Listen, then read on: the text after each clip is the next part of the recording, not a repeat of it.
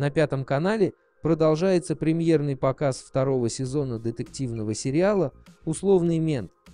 В сюжете 23 серии, выход которой ожидается 15 августа, мы увидим, что в рамках программы по обмену опытом Гордеевой прикрепляют полицейского из области. Они расследуют убийство, связанное с контрабандой наркотиков. Рыжову страшно не нравится новый напарник Гордеевой. 24 серия «Брачные игры».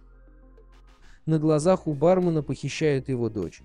Выясняется, что она работала в брачном агентстве. Гордеева в целях расследования устраивается на ее место. Премьера новых серий состоится 15 августа на Пятом канале.